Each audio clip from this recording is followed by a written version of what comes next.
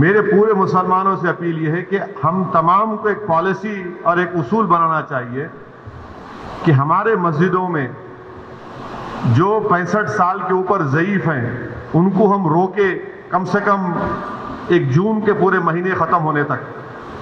क्योंकि उनके जिसम में इम्यूनिटी कम हो जाती है।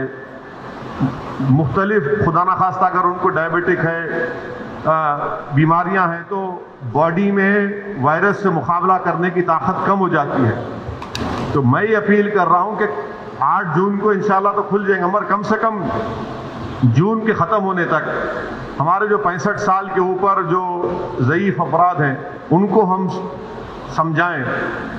उनसे रिक्वेस्ट करें कि कम से कम जून के ख़त्म होने तक आप थोड़ा मस्जिद को मत जाइए, घर में नमाज़ पढ़िए। जो नौजवान हैं जो ज़रा मस्जिदों को कम जाते, अब वो जाकर मस्जिद को आबाद रखे। तीसरे ये कि मसाजिद में अगर कारपेट है और उस कारपेट को निकाल सकते आप तो फ़ौरन निकालकर पत्थर के ऊपर नमाज़ पढ़ना चाहिए, क्योंकि कारपेट में एपिडेमोलॉजिस्ट और जितने हेल्थ एक्सपर्ट से डॉक्टर्स वो बोलते हैं कि कारपेट में बहुत से जरासीम जम जाते और उससे हो सकता है कि खुदा ना खास्ता किसी को वायरस लग सकता। तो चौथी बात, काम हमको ये करना चाहिए कि मसाजिद में बैतुल खला और वज़ू का इंतज़ाम ना रखें। क्योंकि वो वज़ू करते, कुली करते, और फिर आप आके नमाज़ पढ़ते तो लोग घर से ही अपने वज़ू कर कर आए।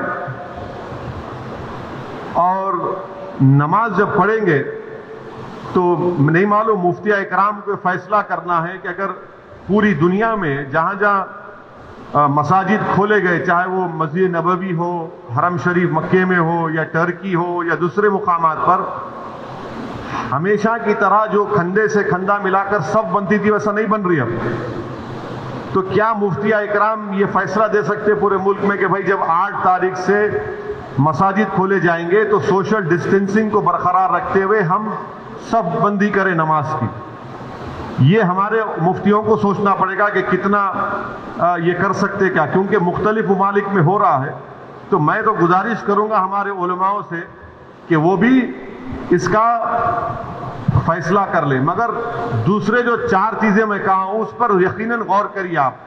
मैं किसी से नहीं कह रहा हूँ कि मस्जिद को मत जाइए। मैं ये कह रहा हूँ कि आप सही कह रहे हैं कि वायरस अभी बढ़ रहा है। वायरस खत्म नहीं हुआ है, वायरस बढ़ रहा है अभी।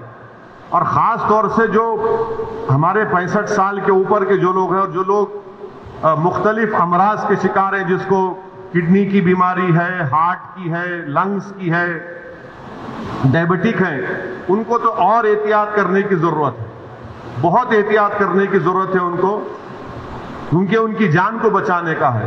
यकीनन हमको एक रूहानी और कलबी सुकून मिलता है जब हम अल्लाह के घर में जाकर सर सर्वसजूद होते हैं।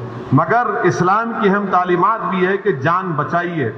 और अगर खुदा ना खास्ता किसी को ये वायरस होता है तो फिर उनके घर वालों को उनसे जो मुलाकात किए फिर एक नया सिलसिला शुरू होता ट्रेसिंग का प्राइमरी कांटेक्ट कौन थे सेकेंडरी कांटेक्ट कौन थे।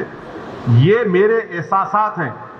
और ये उसी वक्त होगा जब आ, हमारे तमाम मुफ्तिया इकराम चाहे किसी भी मकतब फ़िक्र के हों वो इसका एक इज्तमाही तौर पर नोट लेकर सबको बताएँ।